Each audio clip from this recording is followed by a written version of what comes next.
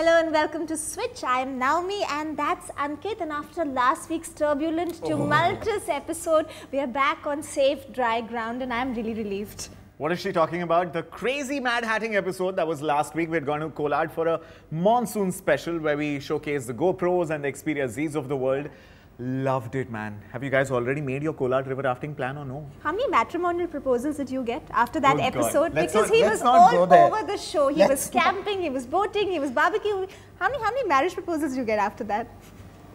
okay, Can I'm we- completely embarrassed, Ankit. Let's find out what else is on the show this week.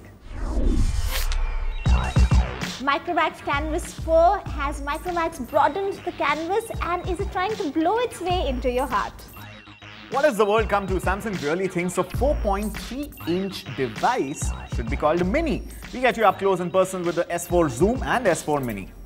Hottie alert, and I'm not talking about Ankit, it's Chitranga Singh talking about gadgets on the show this week.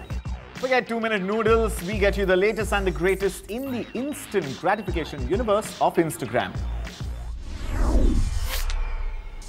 Micromax Canvas 4 has now replaced Micromax Canvas HD as Micromax's flagship phone. Is something that has got Ankit really excited. We'll get into more of his excitement and analysis of the phone, but before that we'll get into tech specs.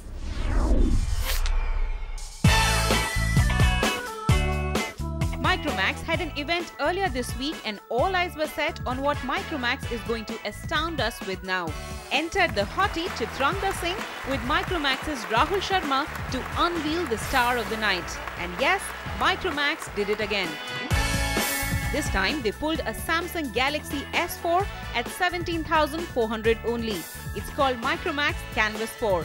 While we know where that number came from, we don't know how they managed to pull off these stunts. But let's look at its tech specs. Micromax Canvas 4 runs Android's Jelly Bean with 1 GB of RAM. For storage, it has 16 GB of internal memory that can be expanded up to 32 GB. The fourth generation of Canvas smartphones, Canvas 4, has a 13 megapixel rear facing camera and a robust 5 megapixel front facing camera. You can record video at 1920 by 1080p at 30 fps. For connectivity, it has USB 3.0, GPRS, Edge, Wi-Fi, Bluetooth 4.0.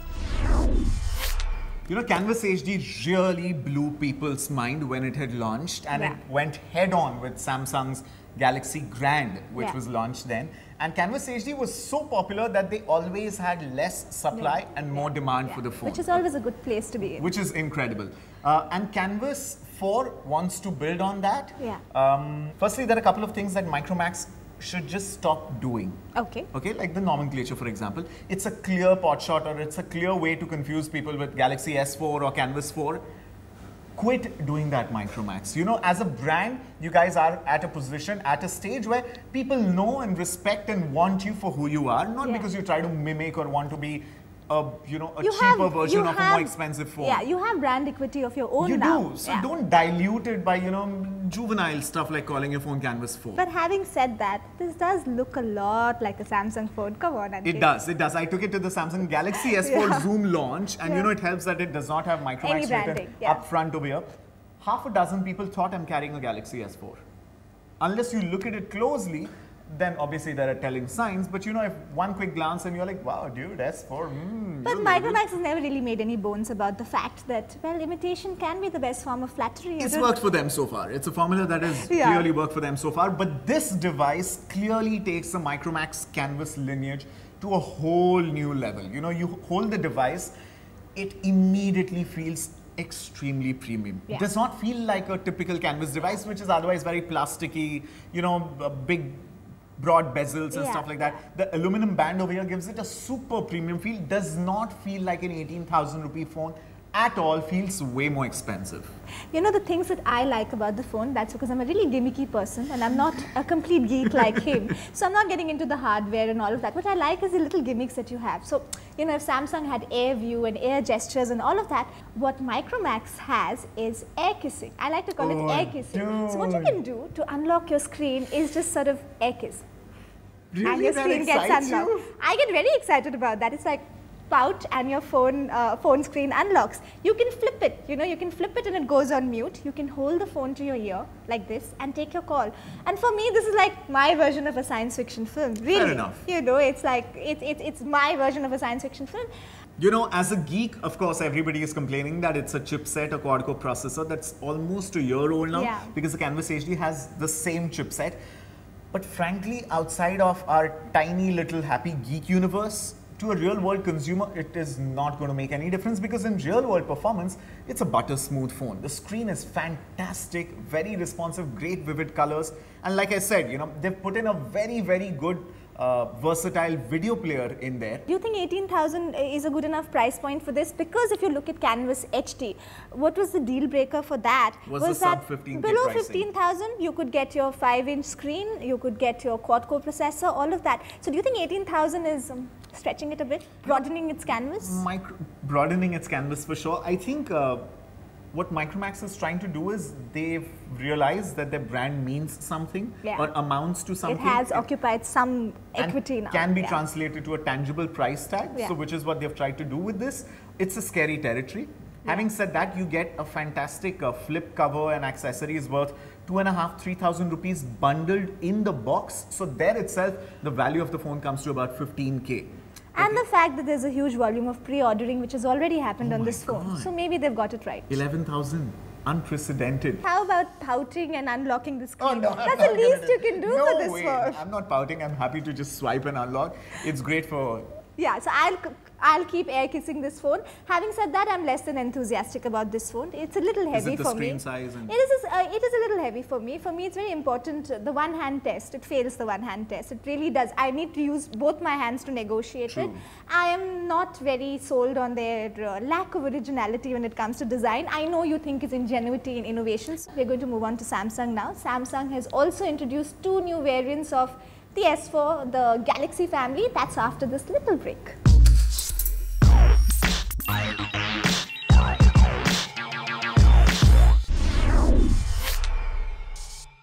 Welcome back. You're watching Switch with Nami and me, and it's raining smartphones this week on the show.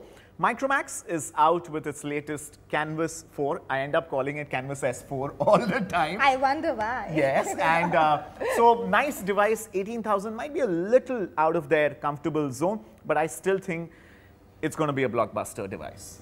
Okay, but S4 too has some variants now, some much called for variants. Absolutely. Um, which you is really the, think much call for variants? Well, for anyone who wanted a portable version of the S4, come on, there are enough S4 enthusiasts there as well. Totally. So we're going to get into the tech specs of the two new phones that the S4 family has introduced. and the Galaxy S4 Zoom, which is new flagship Canvas 4 phablet in India, Samsung rolled out two smartphones in the country, the Galaxy S4 Mini and the Galaxy S4 Zoom. The S4 Mini is positioned as the compact version of the company's flagship phone, the Galaxy S4, and is based on the same design language. The S4 Mini comes with a 4.3-inch Super AMOLED screen with 960 by 540p resolution. Powered by a 1.7 GHz dual-core processor, the S4 Mini runs on Android's latest Jelly Bean. Packed by 1GB RAM, the phone has 8GB of internal storage, which is expandable up to 64GB. On the back of the phone is an 8-megapixel camera with LED flash, while a 1.9 megapixel unit is on the front panel.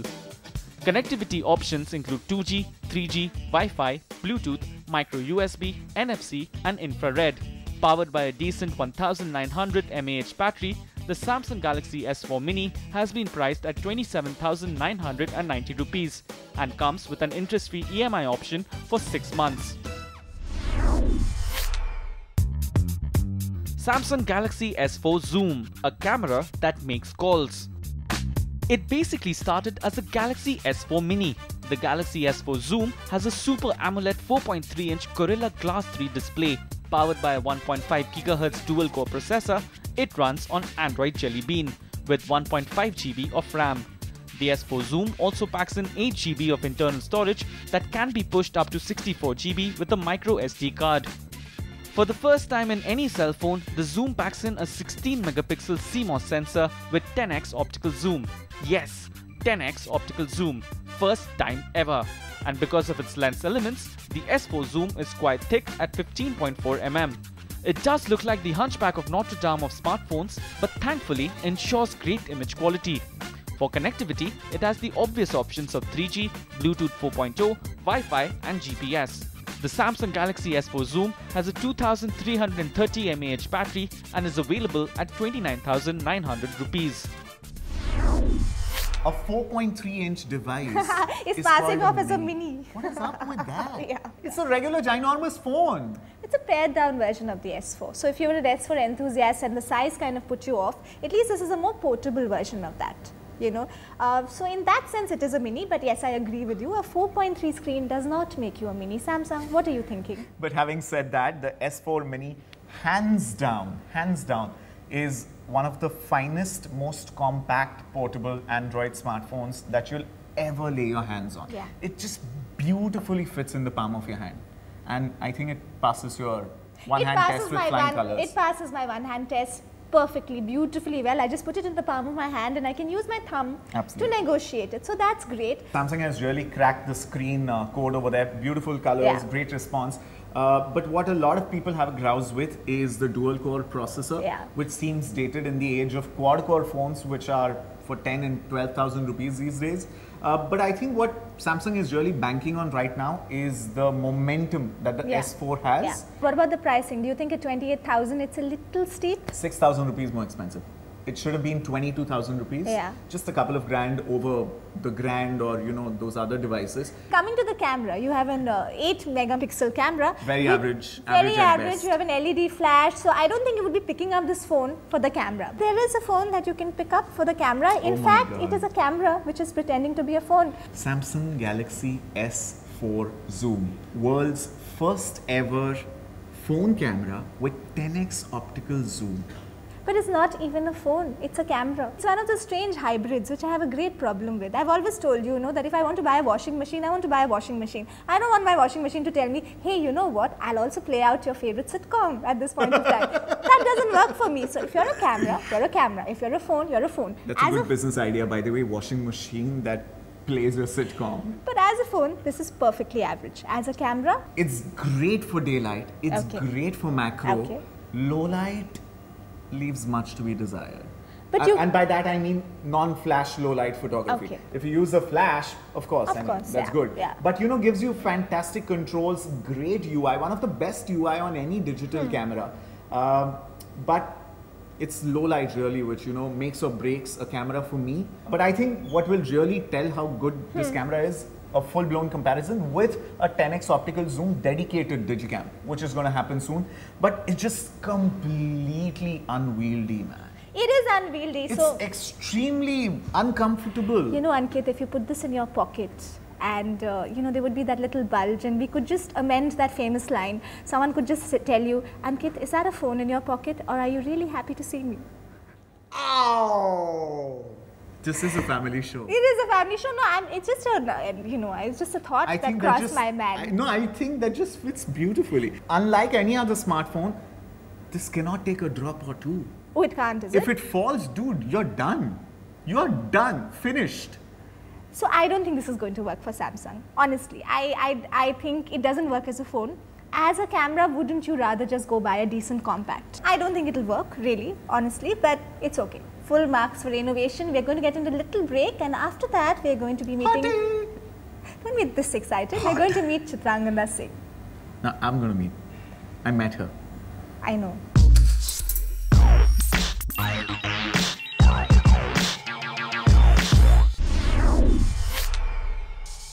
Welcome back. You're watching Switch with Naomi and me, and we told you it's raining smartphones this week on the show, especially Android smartphones. And one of the coolest things to do with your brand new cell phone camera is to shoot a 15 second Insta video. Instagram is out with their 15 second video service. Devika Chitnis takes it for a spin and also gets you up to speed with the latest in the Insta universe. Check this out.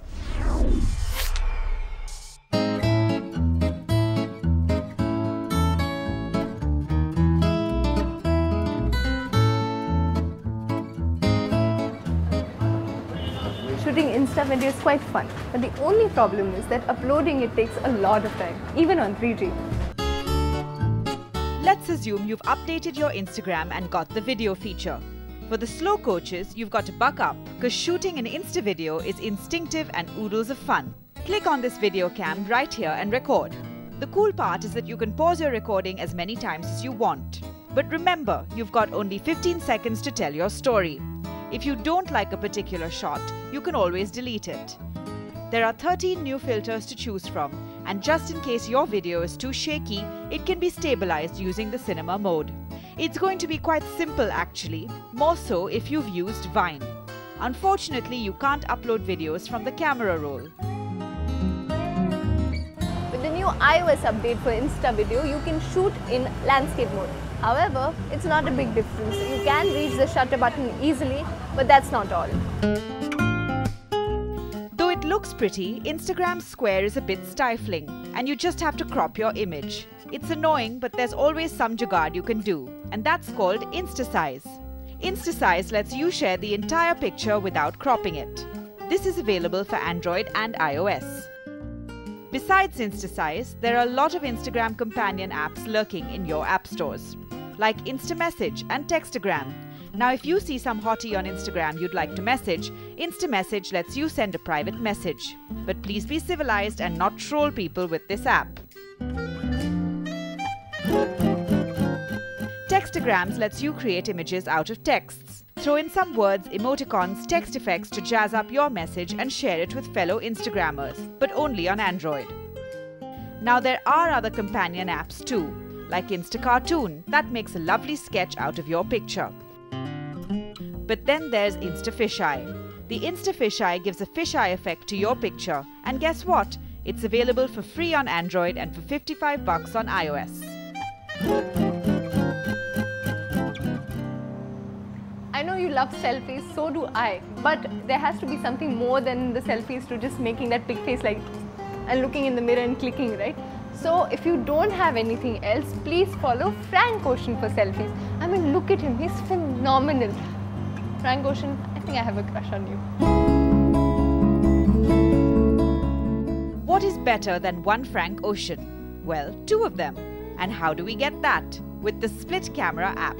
Your frame is divided into two parts with this app. You can do this latitude or longitude wise. Take your pick, then click on one picture and the other. There is a blur tool to merge these two images, and voila, you can pretend that you have a twin. Now, to Instagram this picture, you've got to import the picture from the camera roll. It would have been nice if I could use different filters for each part of the picture, but hey, I didn't promise you the moon. It's always great to meet fellow Instagrammers. You know, to meet people, reinvent your style. There are actually special meets for this called Insta Meets and Insta Walks.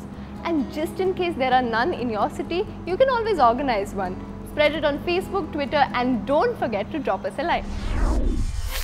So after that story on instant gratification, we move on to a drool fest. Oh, so much gratification. So much gratification. We are going to move on to Chitrangada Singh. She's talking about gadgets while the other person She's just talking.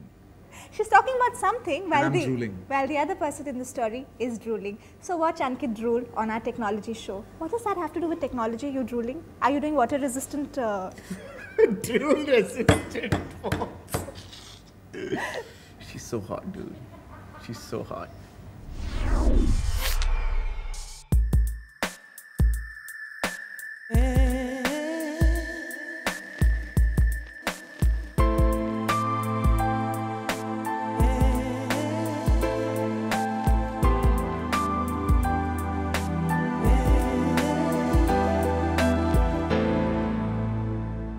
Major, major, major celeb crush happening. I mean, of course, I've been the biggest fan of Chitrangda since uh, she she even you know became big onto the scene. Oh. I'm you know I'm not even holding the mic. I have such a celeb crush moment right now. I can't tell You're you. a bad actor. But uh, I'm a terrible actor. Thank you for thank you for acknowledging that. Fortunately, I don't have to act on the tech show. But it's awesome to have you here, Chitrangda. You know, all of us have always used a Nokia phone uh, in our life once. Yeah, yeah. And so, are you a Crackberry? Are you a touchscreen phone? Are you an Android person? Are you an iPhone person? What is it? Uh, iPhone, yes, and, and the BlackBerry as well. Um, the BBM is something that we use a lot because of your emails and all of that otherwise. But really, if I was to use a phone, mostly it's emailing and otherwise it's photographs. Yeah, Are you on Instagram?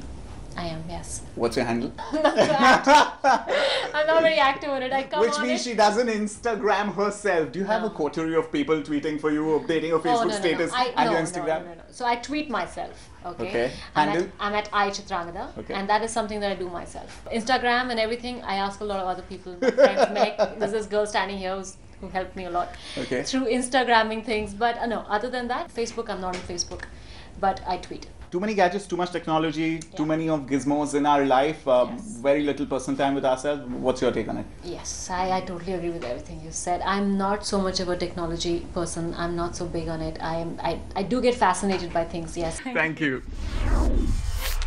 And Ankit, stop smiling. Are you following Chitrangana on Twitter now? Is she following you back? Or would you It's a rather little keep more it? private. Would you rather keep it private, or like they say on Facebook, it's complicated. Oh God! Fine, Naomi. I admit I'm a fan. So what? Fanboy. Anyway, that's it for the show this week. We are at the Konkan Cafe at Vivanta by Taj President. You can follow us on Twitter at SwitchFeed. You can catch up with all our episodes on youtube.com slash CNBCTV18. And what else can they do? Ankit, stop all you, all you Chitrangda fans can just, you know, let's all huddle up and revel in the You can like our Facebook page. beauty that she is. You can like our Facebook page. That's It's- all we have for this week. Till next week, then stay switched on. Nothing else matters.